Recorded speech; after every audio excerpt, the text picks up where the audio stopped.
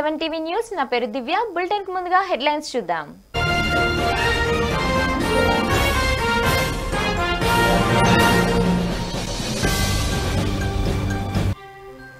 విశాఖలో inside trading చేశారని TDP నేతల ధ్వజం. విచారణకు సిద్ధమని ఎంపీ విజయసాయిరెడ్డి కౌంటర్.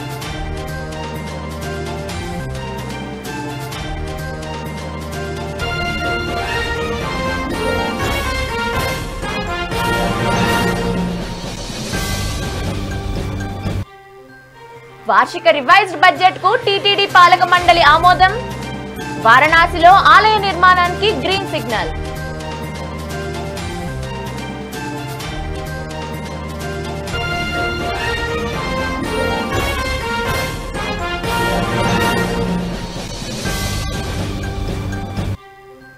హైదరాబాద్లో ముగిసిన రాష్ట్రపతి శీతాకాల విడిది.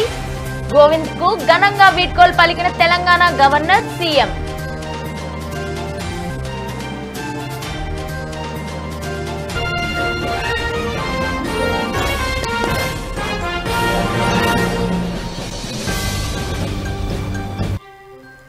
రాజస్థాన్లో శిశు మరణాలపై దర్యాప్తు ముగ్గురు సభ్యులతో కమిటీ విచారణ.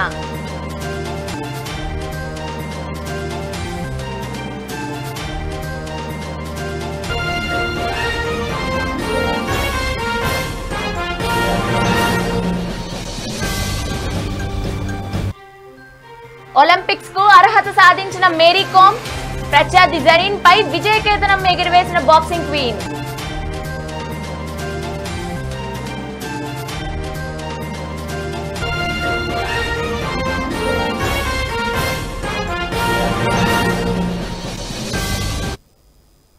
ఇక వార్తల్లోకి వెళ్తే విశాఖ ఇన్సైడ్ ట్రేడింగ్ పై సిబిఐ విచారణకు సిద్ధమని వైసీపీ ఎంపీ విజయసాయిరెడ్డి అన్నారు. ఆయన మీడియాతో మాట్లాడుతూ తన వాళ్ళు మాత్రమే బాగుండాలనుకునే వ్యక్తి చంద్రబాబు అన్నారు. రాజధానిపై త్వరలో సీఎం జగన్ మంచి నిర్ణయం తీసుకుంటారని చెప్పారు. విశాఖ ఉత్సవంలోనే కాదు ఇక నిత్యం విశాఖలో పండగ వాతావరణం ఉంటుందన్నారు. అమరావతి పేరుతో మాజీ సీఎం ఆయన గ్యాంగ్ కమిషన్ వ్యాపారం చేశారన్నారు. అమరావతిలో టీడీపీ ఫండింగ్ ఉద్యమాలు చేస్తోందని విజయసాయిరెడ్డి అన్నారు. అత్యంత స్వార్థపరుడు. తను తన కుటుంబ సభ్యులు తప్ప ఈ ఈ యొక్క ప్రపంచంలో ఎవడన్నా ఉన్నాడని అంటే అది చంద్రబాబు నాయుడే. ఇటువంటి కుటిల పథకాలు స్వార్థపూరిత రాజకీయాలు ఇన్సైడర్ ట్రేడింగు ఇవన్నీ కూడా చంద్రబాబు ప్రజలకు ఒక మూడు దశాబ్దాల పాటు మంచి సుపరిపాలన అందించాలన్నటువంటి మహా మహోత్తరమైనటువంటి ఉద్దేశంతో శ్రీ గౌరవ ముఖ్యమంత్రి జగన్మోహన్ రెడ్డి గారు ముందుకు సమాయత్తమై ముందుకెళ్తా ఉన్నారు. దానికి చంద్రబాబు నాయుడు అనుకుంటే పర్వాలే. అమరావతి మాత్రమే అభివృద్ధి చెందాలి. తన తన కుటుంబం మాత్రమే లాభాలు ఆర్జించాలి. తన కుటుంబం మాత్రమే సుఖ సుఖ సంతోషాలతో ఉండాలి అని అనుకోవడం. వైసీపీ ప్రభుత్వంపై టీడీపీ నేత మాజీ మంత్రి దేవినేని ఉమా మండిపడ్డారు. సంక్రాంతి తర్వాత రాజధాని తరలించేలా నిర్ణయం తీసుకుందని ధ్వజమెత్తారు. భీమిలి భోగాపురంలో ఆరు వేలు విశాఖలో ముప్పై ఆరు వేల ఎకరాలు చేతులు మారాయని ఆరోపించారు. విశాఖలో వైసీపీ నేతల ఇన్సైడ్ ట్రేడింగ్ చేశారని విమర్శించారు.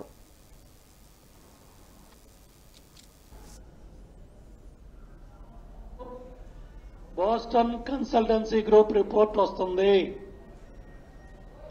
నాలుగో తారీఖు కేబినెట్లో ఆమోదం తెలుపుకుందాం. ఎట్లాగో పండగ సంక్రాంతి పండగ వేడుకల్లో ఎవరికి వాళ్ళు ఉంటారు? జనవరి పద్దెనిమిదిన శాసనసభ శాసన మండలి సమావేశం ఏర్పాటు చేసుకొని తీర్మానాలు చేసుకుందాం. విశాఖపట్నానికి రాజధాని తరలిస్తున్నామని జగన్మోహన్ రెడ్డి గారు నిన్న మంత్రులకు చెప్పారు. దీని మీద విశాఖపట్నంలో ముఖ్యమంత్రి గారు రాష్ట్ర ప్రజలకు వివరణ ఇవ్వాలి. ఏదైనా చిన్నపిల్లల ఆట బీసీసీ గ్రూప్ ఏంటండి? పోర్చుగల్లో రెండు వేల పదిహేడులో కరప్షన్ ఛార్జెస్ వస్తే ఎలిగేషన్లు వస్తే వాళ్ళ మీద దేశ పోలీసులు అక్కడ వాళ్ళ కార్యాలయాల మీద రైడ్ చేశారు. రెండు వేల పదిహేడులో. రెండు వేల పంతొమ్మిదిలో కేప్టాన్ ముఖ్యమంత్రి గారికి నచ్చే మెచ్చే దేశం సౌత్ ఆఫ్రికా. ఆ సౌత్ ఆఫ్రికాలో కేప్ టౌన్లో బీసీసీ కార్యాలయాల మీద అక్కడ పోలీసులు రైడ్ చేశారు. ఇక మూడో రైడ్ అమరావతిలో అవుతుంది వాళ్ళ గ్రూపుల మీద. ఇటువంటి ఎలిగేషన్లు ఉన్న సంస్థలో ఐదు కోట్ల ప్రజల జీవితాలకు సంబంధించిన రాజధాని మీద మీరు ఇటువంటి గ్రూపులకు అప్పచెబుతారా? ఇటువంటి సంస్థలకు అప్పచెబుతారా? రెండో దేశంగా ఉన్న సింగపూర్ ప్రభుత్వాన్ని వాళ్ళ సంస్థల్ని అమరావతి ప్రాంతం నుంచి ఎల్లగొట్టారు పంపించేశారు. ఇవాళ ఎక్కడైతే పోర్చుగల్లో సౌత్ ఆఫ్రికా కేప్ టౌన్లో కరప్షన్ ఎలిగేషన్ల మీద అక్కడ పోలీస్ యంత్రాంగాలు ఎంటపడతా ఉన్నా ఈ బోస్టన్ కన్సల్టెన్సీ గ్రూపు మన ఆంధ్రప్రదేశ్ రాజధాని గురించి తీర్పులు ఇస్తుందా? కమిటీ రిపోర్ట్లు ఇస్తుందా? ఇటువంటి సంస్థలు మా ఐదు కోట్ల ప్రజల జీవితాలతో ఆడుకుంటాయా? ఈ జిఎన్ రావు ఎవరండి? కృష్ణా జిల్లా గోపవరం ఈ రాష్ట్ర కేబినెట్లో ఒక మంత్రి ప్రజల పక్షాన్ని నిలిచిన పార్టీ కాంగ్రెస్ అని టీపీసీసీ చీఫ్ ఉత్తమ్ కుమార్ రెడ్డి అన్నారు. గాంధీ భవన్లో జరిగిన పార్టీ ఆవిర్భావ వేడుకల్లో ఆయన మాట్లాడారు. నూట ముప్పై ఐదేళ్ళ చరిత్ర కలిగిన పెద్ద పార్టీ ప్రపంచంలోనే ఏదీ లేదన్నారు. కాంగ్రెస్ కార్యకర్తలుగా గర్వపడాలన్నారు. దేశ విభజనకు కాంగ్రెస్ కారణం కాదని చరిత్ర తెలియని వారు చేస్తున్న ఆరోపణలు మాత్రమే అన్నారు. మరోవైపు పోలీసులు తీరంగా ర్యాలీకి పోలీసులు అనుమతి నిరాకరించడంతో ఇరవై నాలుగు గంటలు సత్యాగ్రహ దీక్షకు దిగారు కాంగ్రెస్ నాయకులు. వాళ్ళకి వాళ్ళ ర్యాలీ కోసం వాళ్ళ మార్చ్ ఇచ్చిండ్రు. మేము ప్రశాంతంగా చేస్తాం దేశభక్తి కోసం జాతీయ భక్తి కోసం జాతీయ జెండాతో దేశాన్ని రాజ్యాన్ని రక్షించాలని మేమంటేనేమో లా అండ్ ఆర్డర్ ప్రాబ్లం అంటారు. వాళ్ళు గుర్రాలు కట్టెలతో ఒక భయంకరమైన వాతావరణం సృష్టించి వారి అధిపతి మొత్తం భారతదేశంలో ఉన్న ఇతర మతాన్ని కించపరిచేట్టు మాట్లాడితేనేమో వాళ్ళకి పర్మిషన్లు పోలీసులు ఏర్పాటు. ఇది మీరు గమనించాలి. మా పాత్ర ఎంతుందో ప్రజాస్వామ్యాన్ని తెలంగాణలో కాపాడడానికి మీ పాత్ర కూడా అంతే ఉందని చెప్పి నేను మనం చేస్తున్నాను. ఇది మేము చెప్పకుండా మీరు ఎక్స్పోజ్ చేయాల్సిందే. మేము చెప్పినో వీడియోలు ఇచ్చినో ఫోటోలు ఇచ్చినో కాబట్టి దీన్ని పెద్ద ఎత్తున కవర్ చేయడం కేసీఆర్ యొక్క హిపోక్రసీ అతని నిజమైన వైఖరి మీరు ఎక్స్పోజ్ చేయాలని చెప్పి ప్రెస్ అందరికి నేను విజ్ఞప్తి చేస్తున్నాను. ఏపీ ప్రభుత్వాన్ని టీడీపీ నేత పంచమతి అనురాధ సూటిగా ప్రశ్నించారు. రాజధాని రైతులు ఉత్తరాంధ్రపై ప్రభుత్వానికి ఎందుకు కక్ష కట్టారని నిలదీశారు. కేబినెట్లో రాజధానిపై స్పష్టమైన నిర్ణయం తీసుకోకుండా న్యాయ నిపుణులు కమిటీతో సంప్రదింపులంటూ కథలు చెబుతున్నారని మండిపడ్డారు. గెలిచాను మూడు ఎంఎల్ ప్రకటించాలి అని డిమాండ్ చేస్తూ రైతులు మరి పొద్దున్న ఆరు గంటల నుంచి మళ్ళీ రాత్రి పన్నెండు గంటల వరకు ఇరవై నాలుగు గంటలు కూడా వాళ్ళు రోడ్ల మీదకు వచ్చి వారి నిరసన కార్యక్రమాల్ని తెలుపుతూ ఉన్నారు. ఆ విషయం అందరికీ కూడా తెలిసిందే. ఈ క్రమంలో స్పష్టంగా క్యాబినెట్ మీటింగ్లో ఒక నిర్ణయం తీసుకోవాల్సింది పోయి రైతులకి భరోసా కల్పించాల్సింది పోయి మళ్ళీ న్యాయ నిపుణులని సంప్రదించి మేము ముందుకెళ్తాము అని చెప్పి జగన్ క్యాబినెట్ నిన్న ప్రకటించడం జరిగింది. ఏంటి పద్ధతి? గత ఏడు నెలలుగా ఇదే న్యాయస్థానం న్యాయస్థానాలు. ఏ ఇరవై ఏడు సార్లు మీ యొక్క ప్రభుత్వ వైఖరికి చివాట్లు పెట్టిన విషయం మీకు గుర్తులేదా? దేశంలో ఎక్కడైనా ఉందా అండి? అదేవిధంగా బాస్టన్ కంపెనీ కూడా బోగస్ కంపెనీ అని కూడా తేల్చడం జరిగింది. ఆల్రెడీ మేము చెప్పడం జరిగింది మార్నింగ్ డిబేట్స్లో కానీ అట్లాగే మా వల్లరామయ్య అన్నయ్య కూడా చెప్పడం జరిగింది. ఆ వివరాలన్నీ నేను అందులోకి పోదలుచుకోలేదు. ఏంటి ఈ ప్రభుత్వం యొక్క ఆలోచన విధానం? ఎందుకు ఇంత కక్ష సాధిస్తున్నారు? రైతుల పట్ల మీకు ఎందుకు ఇంత కక్ష? ఉత్తరాంధ్ర మీద మీకు ఎందుకు ఇంత కక్ష? బాస్టన్ కన్సల్టల్ కమిటీ కన్సల్టెన్సీ గ్రూ గ్రూప్కి వీళ్ళు అప్పచెప్పామని చెప్తున్నారు. నేను ఒకటే అడుగుతున్నా వాళ్ళ మీద ఎఫ్బి ఎఫ్బిఐ కేసులు ఉన్నాయి ఎఫ్బిఐ కేసులు ఉన్న కంపెనీకి సిబిఐ కేసులు ఉన్న జగన్మోహన్ రెడ్డి గారు రిపోర్ట్ చేస్తే దాన్ని వోక్స్ వ్యాగన్ కేసుల్లో సారా కేసుల్లో ఉన్న వ్యక్తి నిర్ణయం తీసుకుంటాడంట. బాస్టన్ కంపెనీ ఎఫ్బిఐ కేసుల్లో ఉంది. జగన్మోహన్ రెడ్డి గారు సిబిఐ కేసుల్లో ఉన్నారు. బొత్స సత్యనారాయణ గారు సారా కేసులు వోక్స్ వ్యాగన్ కేసుల్లో ఉన్నారు. ఒకళ్ళు రిపోర్ట్ ఇస్తే ఒకళ్ళు దాన్ని యాక్సెప్ట్ చేస్తే ఇంకొకళ్ళు దాని మీద వివరణ ఇస్తారంట. ఇది మన రాష్ట్రం పరిస్థితి. ఇంత దారుణమైన పరిస్థితి ఏ రాష్ట్రంలో కూడా ఉండదు. ఇది ఆంధ్ర రాష్ట్ర ప్రజలు చేసుకున్న కర్మ అని కూడా ప్రజలే బాధపడతా ఉన్నారు. ఇకపోతే ఉన్న విషయాలు మేము మాట్లాడుతూ ఉంటే వైసీపీ ఎమ్మెల్యేలు ఇష్టం వచ్చినట్టు పర్టికులర్గా ఒక అతను నా గురించి కూడా ఇష్టం వచ్చినట్టు మాట్లాడుతూ ఉన్నారు. నీ స్థాయి ఏంటి? నీ నాలుక కత్తిరిస్తా? నువ్వు ఆడదానివని కూడా చూడను. నువ్వు కార్పొరేటర్కి తక్కువ ఇంకా దేనికో ఎక్కువ అని ఇష్టం వచ్చినట్టుగా అతను మాట్లాడటం జరిగింది. నా స్థాయి ఏంటో ప్రజలందరికీ తెలుసండి. నేను రెండు వేల సంవత్సరంలో డైరెక్ట్ ఎలక్షన్లో మేయర్గా గెలిచాను మూడు ఎమ్మెల్యే సీట్లు ఒక మేయర్ విజయవాడలో. అదే టైంలో మల్లాది విష్ణు గారు కార్పొరేటర్గా నుంచొని ఓడిపోవటం జరిగింది. ఇంతకన్నా నేనేమి చెప్పదలుచుకోలే. ఎన్ని ఓట్లు వచ్చినాయో కూడా నేను ఇంకా వాళ్ళ స్థాయి దిగజారి మాట్లాడారు కాబట్టి నేను మాట్లాడదలుచుకోలే. ఎన్ని ఓట్లు వచ్చినాయో కూడా ఎంత దారుణంగా ఓడిపోయారో మల్లాది విష్ణు గారు కార్పొరేటర్గా అందరికీ కూడా తెలుసు. మీ గురించి బీసన్ రోడ్లో అడిగితే చెప్తారు. సిట్ని అడిగితే చెప్తారు. ఉడా డిపార్ట్మెంట్లో అడిగితే చెప్తారు. తిరుమల తిరుపతి దేవస్థానం పాలక మండలి సమావేశం జరిగింది. రెండు వేల పంతొమ్మిది ఇరవై వార్షిక రివైజ్డ్ బడ్జెట్కు టీటీడీ పాలక మండలి ఆమోదం తెలిపింది. మూడు వేల రెండు వందల ఇరవై కోట్లతో టీటీడీ వార్షిక రివైజ్డ్ బడ్జెట్కు గ్రీన్ సిగ్నల్ ఇచ్చింది.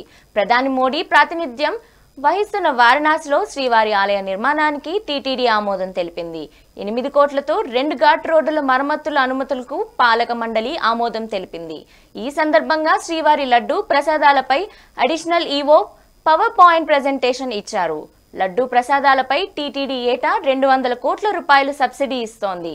ముంబైలో శ్రీవారి ఆలయం నిర్మాణానికి ముప్పై కోట్లు కేటాయిస్తున్నట్లు టీటీడీ పాలక మండలి చైర్మన్ వైవి సుబ్బారెడ్డి మీడియాకు వివరించారు.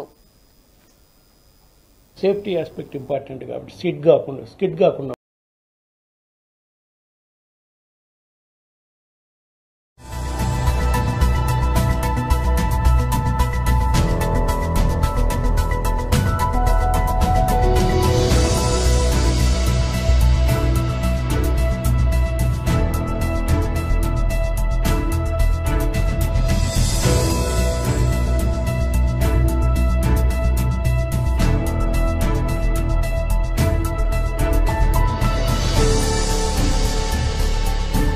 ఒక్క కోట్లు అంచనా వేశారు. అది ఇప్పుడు పన్నెండు వందల ఎనభై ఐదు కోట్లుగా సమీకరించడం జరిగింది.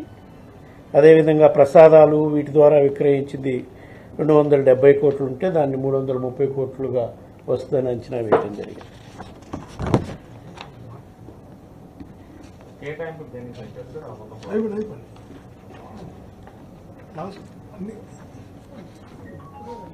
ఇంకా మిగతా చిన్న చిన్న తిరుమల తిరుపతిలోని పద్మావతి శ్రీనివాస కళ్యాణ మండపాల్లో సెంట్రలైజ్డ్ ఏసీ ఏర్పాట్లు చేయాలని ఉన్న నిర్ణయించడం జరిగింది. దానికి ఏదో మూడు కోట్ల చిల్లర శాంక్షన్ చేయడం జరిగింది.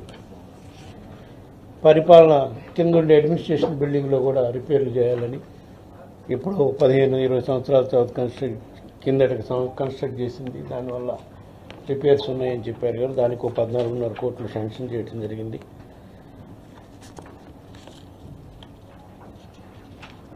కొంతమంది టీటీడీలోకి అకౌంటింగ్ డిపార్ట్మెంట్లో కొంతమందిని రిక్రూట్ చేసుకోవాలని కూడా ఇదివరకే గవర్నమెంట్కి రాసాము వాళ్ళ దగ్గర పర్మిషన్ వచ్చినా కొంతమందిని చేయలేదు. అది కూడా చేయాలని చెప్పి చేయడం జరిగింది. అదేవిధంగా లోగడ బోర్డులో నిర్ణయించినట్టు మన టీటీడీ తరఫున ముంబాయిలో దేవాలయం నిర్మించడం కోసం ముప్పై కోట్ల నిధుల్ని శాంక్షన్ చేయడం జరిగింది.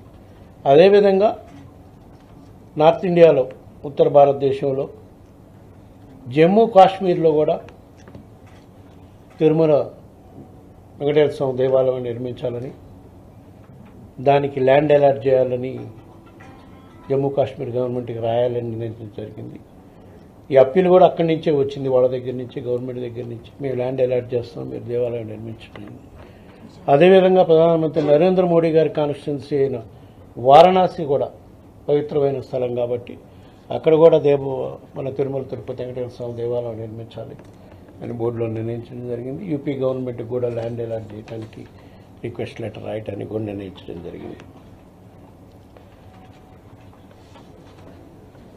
తిరుమలలోని వరాస్వామి ఆ- ఆలయానికి నాగిరేకులు బంగారు పనులు చేపట్టేదానికి పద్నాలుగు కోట్ల రూపాయలతో టీటీడీ ఖజానా ఖజానా నుంచి బంగారాన్ని ఇచ్చేదానికి కూడా నిర్ణయం తీసుకోవడం జరిగింది.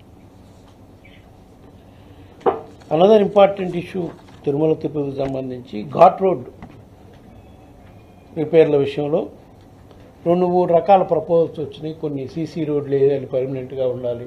ఎందుకంటే అన్నిటికన్నా ముందు భక్తులకు ప్రయాణించేటప్పుడు సేఫ్టీగా ఉండాలి. ఆ సేఫ్టీ విషయంలో కాంప్రమైజ్ కాకూడదు అని చెప్పి ముందు టెంపరీగా రిపేర్లు చేయడానికి బోత్ ద రోడ్స్ బీటీతో రిపేర్లు చేసేదానికి పది కోట్ల రూపాయలు శాంక్షన్ చేసాం కానీ వాళ్ళు పర్మనెంట్గా సీసీ రోడ్లు వేస్తే బెటరా పర్మనెంట్గా బీటీ రోడ్లో రెన్యువల్ చేసుకుంటా చేస్తే బెటర్ ఒక ఎక్స్పర్ట్ కమిటీ వేసి ఎన్హెచ్ డివిజన్ నుంచి కానీ ఐఐటి చెన్నై నుంచి కానీ జేఎన్టీ నుంచి కానీ కమిటీ వేసి రిపోర్ట్ ఎందుకంటే ఘాట్ సెక్షన్లో మనం ఏం చేయాలన్నా కూడా అది మళ్ళీ మళ్ళీ చేయలేం. ఒకసారి చేస్తే పర్మనెంట్గా ఉండాలి. భక్తులకు ప్రయాణం ఇచ్చేటప్పుడు బస్సులు కానీ కార్లు కానీ సేఫ్టీ ఆస్పెక్ట్ ఇంపార్టెంట్ కాబట్టి.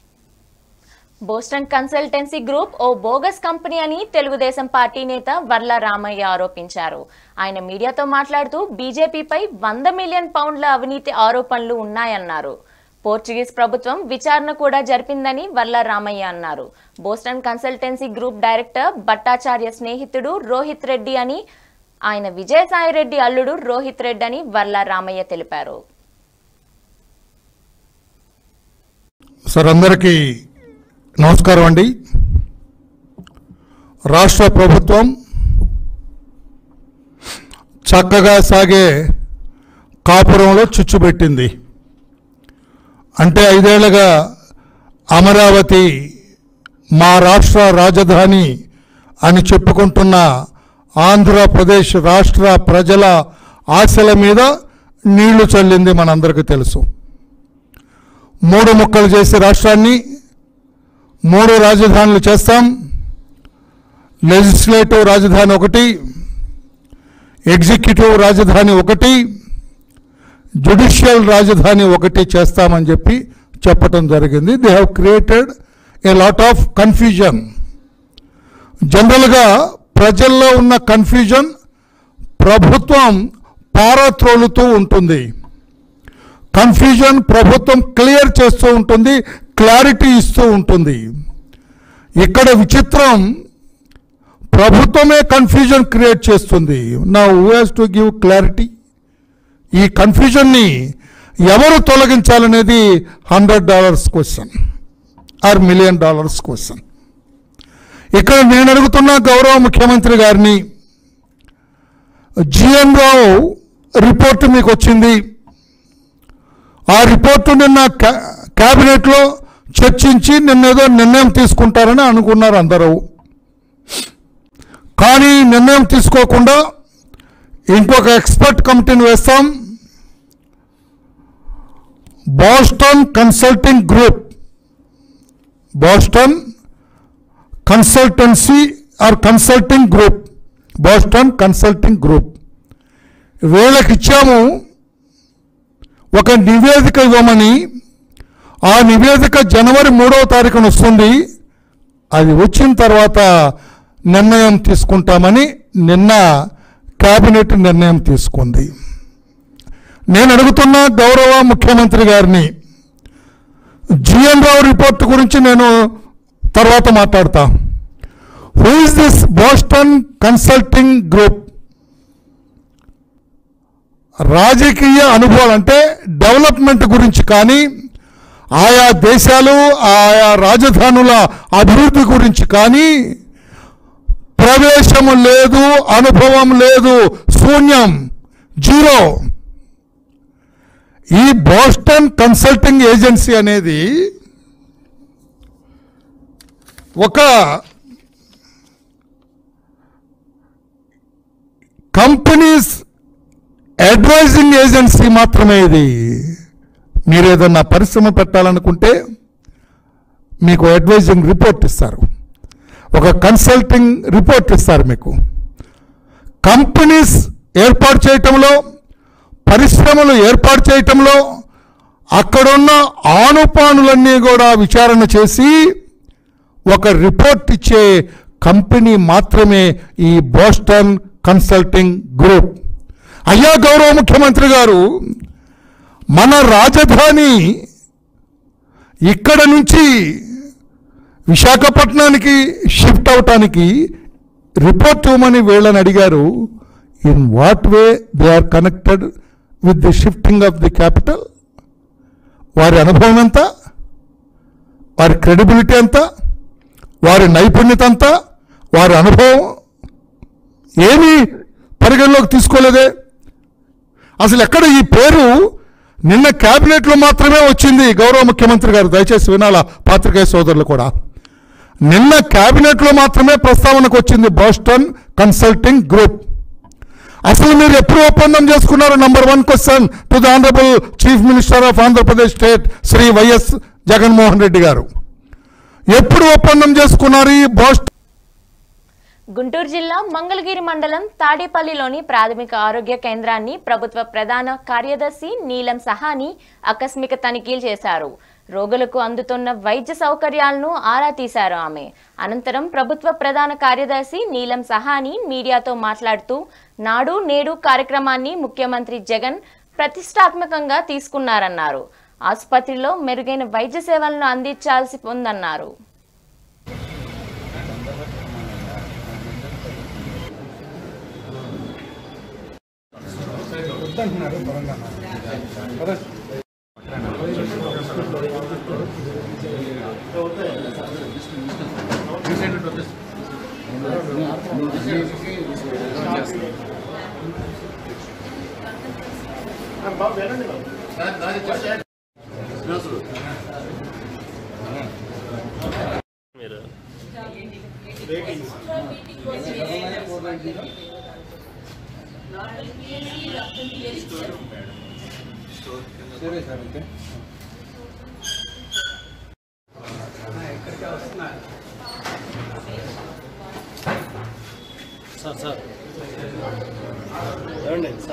మరి నాడు నేడు ప్రోగ్రామ్ కూడా మన ఆనరబుల్ చీఫ్ చాలా పెద్ద వేలో తెచ్చారు. ఈ అన్నిటికీ అవుట్కమ్స్ కూడా ఉండాలి. బెస్ట్ పర్ఫార్మెన్స్ ఎట్లా ఉండాలి అంటే ఓపీస్ పెంచుకోవాలి. సర్వీస్ పిహెచ్సిలో uh, పెంచుకోవాలి. సబ్ సెంటర్లో పెంచుకోవాలి. కొన్ని డిసిషన్స్ అవుతున్నాయి హెల్త్ ఎక్స్పర్ట్ కమిటీస్ కూడా రికమెండేషన్స్ ఇచ్చారు. అది ఎట్లా ఇంప్లిమెంట్ చేయాలి? సో ఆ కన్సర్న్స్తో కొన్ని uh, ఈ ఇన్స్టిట్యూషన్స్ విజిట్ uh, జరుగుతున్నాయి. కొన్ని కృష్ణా డిస్టిక్లో కూడా చేశాను. కొన్ని గుంటూరు డిస్ట్రిక్ట్లో చేస్తున్నాము.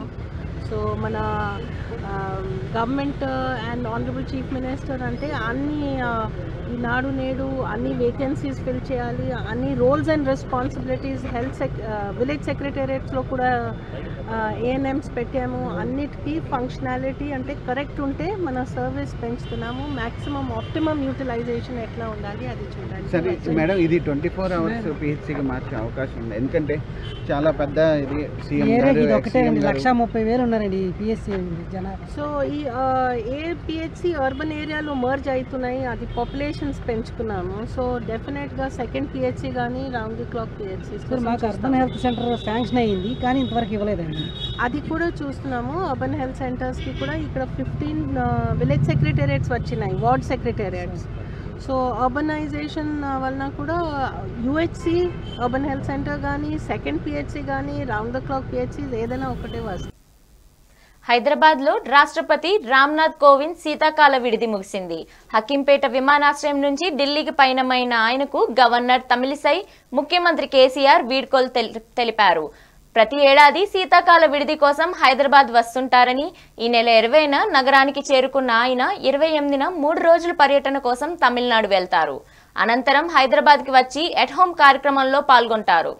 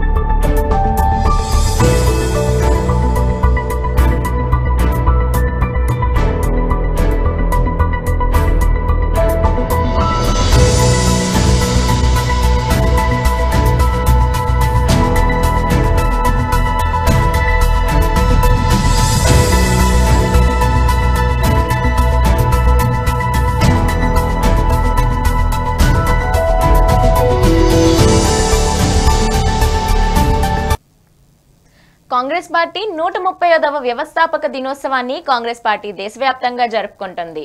ఇందులో భాగంగా ఢిల్లీలోని ఏఐసిసి ప్రధాన కార్యాలయంలో జరిగిన వ్యవస్థాపక దినోత్సవంలో పార్టీ అధ్యక్షురాలు సోనియా గాంధీ పాల్గొన్నారు. పార్టీ జెండాను ఆమె ఆవిష్కరించారు. పార్టీ మాజీ అధ్యక్షుడు రాహుల్ గాంధీ మాజీ ప్రధాని మన్మోహన్ సింగ్ సీనియర్ నేతలు మోతీలాల్ ఓరా ఏకే యాంటోనీ తదితరులు పాల్గొన్నారు. పార్టీ వ్యవస్థాపక దినోత్సవం సందర్భంగా దేశవ్యాప్తంగా రాష్ట్ర రాజధానుల్లో దేశాన్ని రక్షించండి రాజ్యాంగాన్ని కాపాడండి సందేశంతో కాంగ్రెస్ పార్టీ ర్యాలీలు నిర్వహిస్తోంది.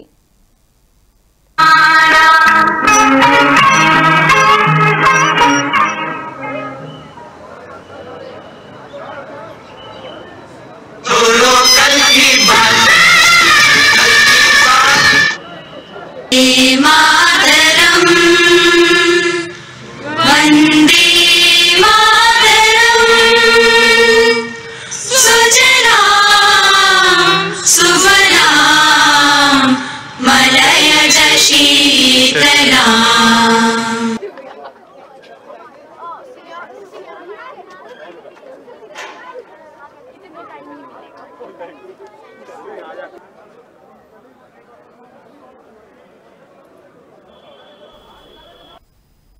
దేశ రాజధాని ఢిల్లీలో ఫిబ్రవరిలో అసెంబ్లీ ఎన్నికలు జరగనున్నాయి. ఈ నేపథ్యంలో రాజకీయ పార్టీలు ఎన్నికలకు సిద్ధం అంటూ ప్రచారం హోరును పెంచడంతో ఎన్నికల సందడి నెలకొంది.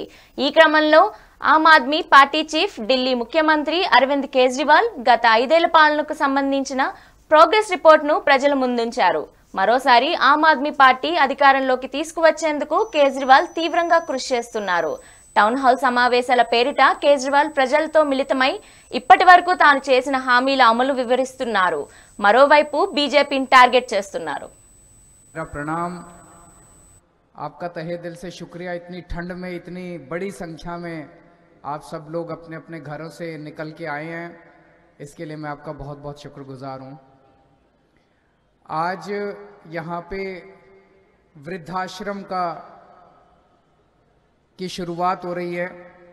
उसका उद्घाटन हुआ आज।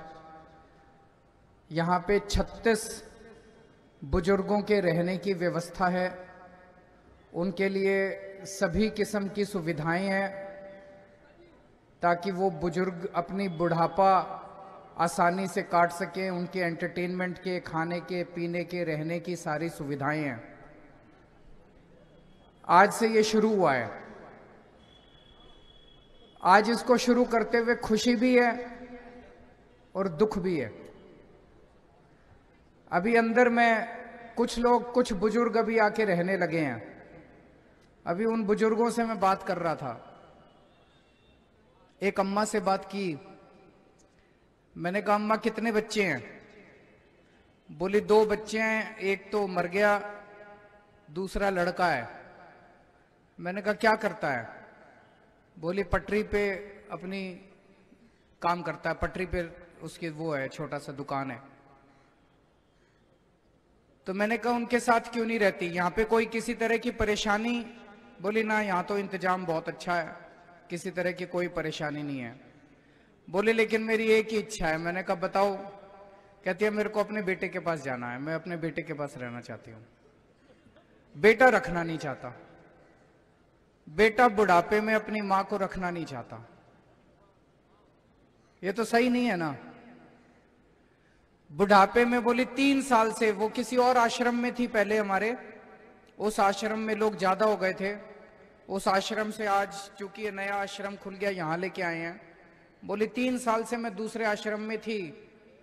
मेरी बस एक ही इच्छा, मैं अपने बेटे के पास जाना चाहती हूँ। वो जैसे भी रखे मेरे को अच्छा रखे, बुरा रखे, लेकिन मैं अपना बुढ़ापा अपने बेटे के घर में गुजारना चाहती हूँ।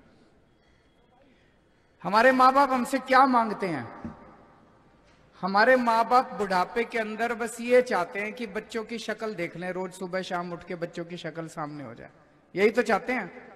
अपने पोते पोती का, दो दोते का मुँह देख लें, शक्ल देख लें। किसी से भी पूछो उनकी क्या इच्छा होती है बुढ़ापे में?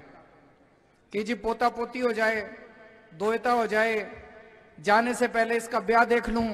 यही तो कहते हैं बुढ़ापे में, और क्या कहते हैं? अगर बुढ़ापे में हम अपने माँ बाप को अपने साथ नहीं रख सकते तो मुझे लगता है कि हमारे से ज़्यादा खराब इंसान नहीं हो सकता। जैसे भी हो हमारे माँ बाप जब हम पैदा हुए थे, हमारे माँ बाप ने देखा था, ये बच्चा मेरा अच्छा है कि बुरा है? हम कितनी शरारतें करते थे, कितनी बदमाशियाँ करते थे। लेकिन जैसा भी होता है बच्चा, माँ बाप उसकी परवरिश करने में कोई कसर नहीं छोड़ते। న్యూఢిల్లీ ఒక సమావేశంలో సీఎం కేజ్రీవాల్ను కలిసింది ఒక వృద్ధురాలు. ఆయనపై ప్రశంసల వర్షం కురిపించారు ఆమె. ఢిల్లీలో మంచి పనులు చేస్తూ బాధ్యతయుతమైన కొడుకుగా వ్యవహరిస్తున్న కేజ్రీవాల్ను ఆమె ఒక్కసారైనా కలిసి ఆశీర్వదించాలని ఉండేదని చెప్పుకొచ్చారు. తన ఆకాంక్ష ఇప్పుడు నెరవేరిందని సీఎం కేజ్రీవాల్ దేశానికి ప్రధానమంత్రి అవుతారని ఆశాభావం వ్యక్తం చేశారు వృద్ధురాలు. ఈ సందర్భంగా ముఖ్యమంత్రి కేజ్రీవాల్ ఆమెకు పాదాభివందనం చేశారు.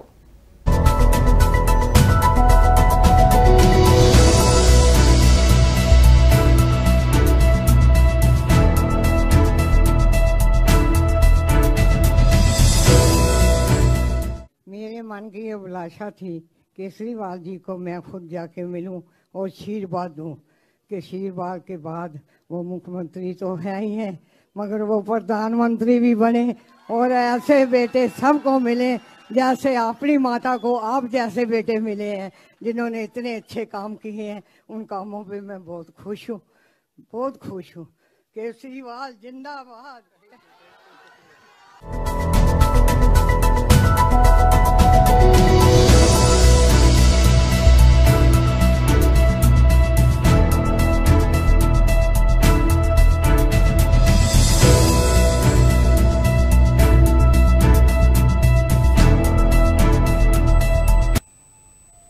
తనను అబద్దాలు పుట్టగా బీజేపీ నేతలు అభివర్ణించడాన్ని కాంగ్రెస్ మాజీ అధ్యక్షుడు రాహుల్ గాంధీ తోసిపుచ్చారు.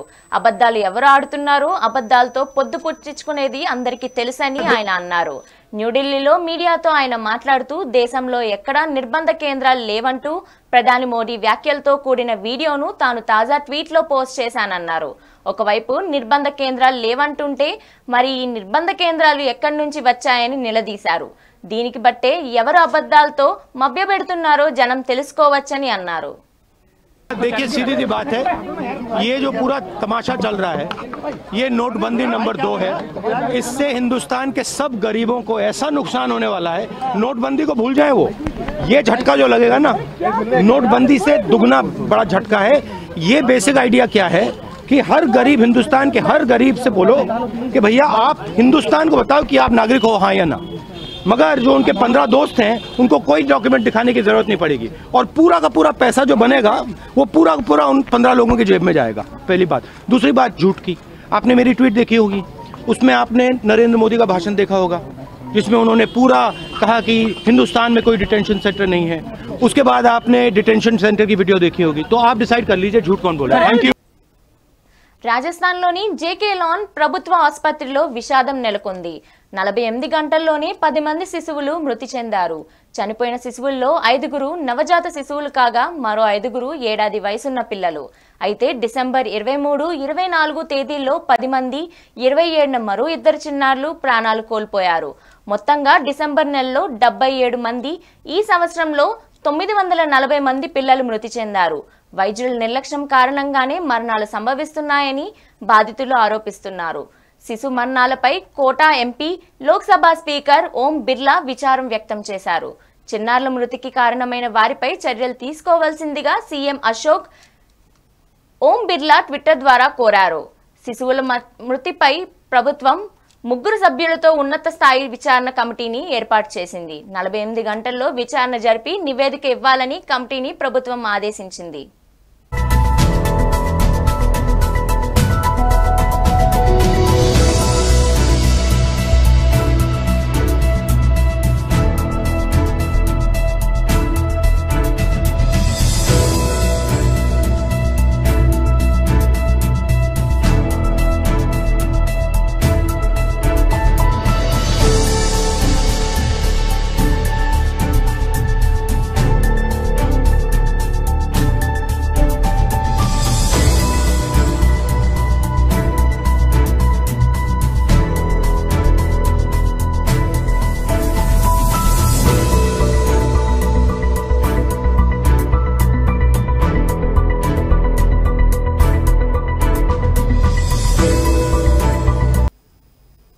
సోమాలియా రాజధాని మొగదీషులో భారీ పేలుడు సంభవించింది. ఆ ఘటనలో డెబ్బై ఆరు మంది మృతి చెందారు. నగరానికి చెందిన ఒక చెక్ పాయింట్ వద్ద ఉన్న కలెక్షన్ సెంటర్ సమీపంలో ఈ శక్తివంతమైన పేలుడు జరిగింది. ఈ ఘటన పట్ల ఇప్పటి వరకు ఏ ఉగ్ర సంస్థ ఎటువంటి ప్రకటన చేయలేదు. సోమాలియాలో సాధారణంగా ఆల్ ఖైదా అనుబంధ సంస్థ ఆల్ షబాబ్ తరచూ ప్రభుత్వం ఆస్తులపై దాడులు చేస్తూనే ఉంటుంది. పేలుడు జరిగిన ప్రదేశం నుంచి సుమారు డెబ్బై ఆరు మంది మృతదేహాలను వెలికి తీసినట్లు Amin ambulance director Abdul Qadir Adan తెలిపారు. ఇంకా పదుల సంఖ్యలో జనం గాయపడ్డారు. మృతి చెందిన వారిలో విద్యార్థులు పోలీస్ ఆఫీసర్లు ఉన్నారు.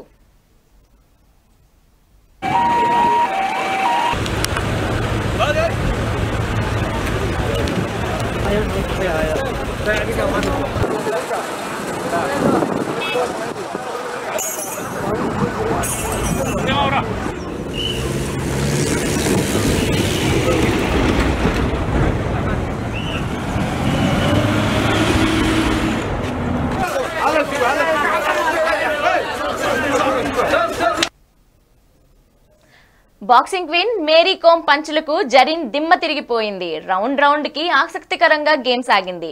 టోక్యో ఒలింపిక్స్ కోసం ఇవాళ జరిగిన మహిళల బాక్సింగ్ ట్రయల్స్లో మేరీ కోమ్ విక్టరీ సాధించింది. Indian boxing queen Mary Kom తొమ్మిది ఒకటి తేడాతో ప్రత్యర్థి జరీన్ పై గెలిచింది. దీంతో మేరీ ఒలింపిక్స్కు అర్హత సాధించింది. క్వాలిఫైయింగ్ టోర్నీ కోసం పారదర్శకంగా ఎంపిక చేయాలన్న నిఖిత డిమాండ్ ఈ మేరకు భారత బాక్సింగ్ సమాఖ్య రెండు రోజుల పాటు ట్రయల్స్ నిర్వహించేందుకు ఏర్పాటు చేసింది. ప్రత్యర్థికి ఏమాత్రం అవకాశం ఇవ్వకుండా పదునైన పంచులు కురిపిస్తూ ఉక్కిరి బిక్కిరి చేసింది మేరీకోమ్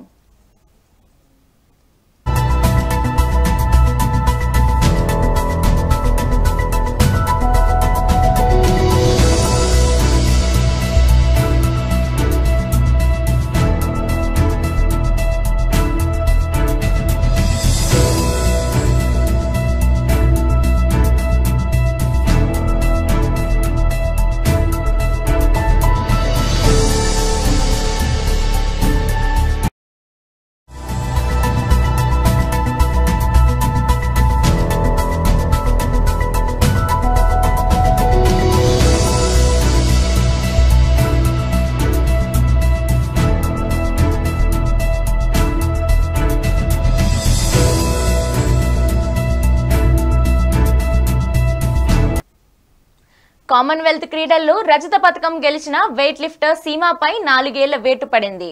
డోపింగ్లో ఆమె పట్టుపడింది. విశాఖపట్నంలో జరిగిన ముప్పై నాలుగవ women national weight lifting championship సమయంలో సీమ శాంపిల్ను పరీక్షించారు. ఆ శాంపిల్ ద్వారా సీమ మత్తు పదార్థాలకు అలవాటు పడిందని ఆమె నిషేధిత ఉద్రేకాలు హైడ్రాక్సీ ఫోర్ మిథాక్సీ డ్రగ్స్ను వినియోగించినట్లుగా తెలుస్తోంది.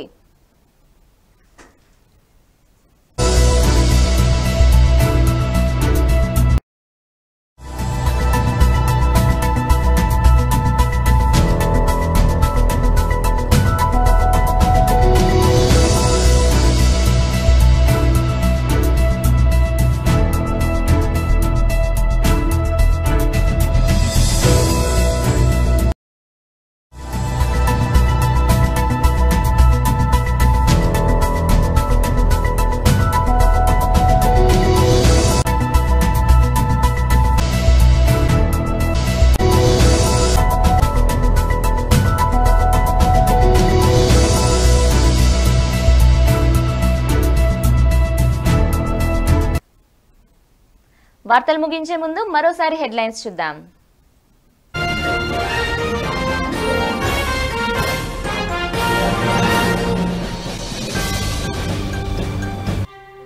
విశాఖలో ఇన్సైడ్ ట్రేడింగ్ చేశారని టీడీపీ నేతల ధ్వజం. విచారణకు సిద్ధమని ఎంపీ విజయసాయిరెడ్డి కౌంటర్.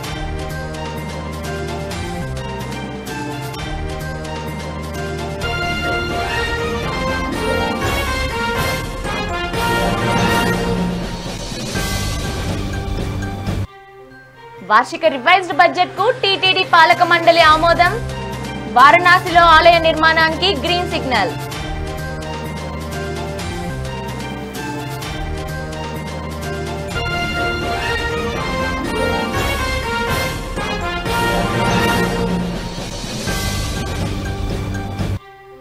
హైదరాబాద్లో ముగిసిన రాష్ట్రపతి శీతాకాల విడిది. కోవింద్కు ఘనంగా వీడ్కోలు పలికిన తెలంగాణ గవర్నర్ సీఎం.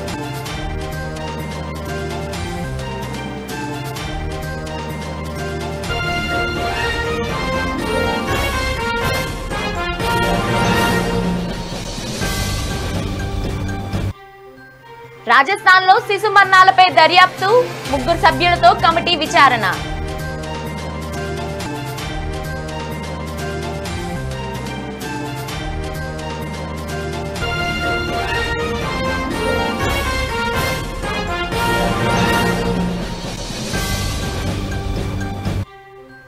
ఒలింపిక్స్కు అర్హత సాధించిన మేరీ కోమ్ ప్రత్యర్థి జరీన్ పై విజయ కేతనం ఎగురవేసిన బాక్సింగ్ క్వీన్.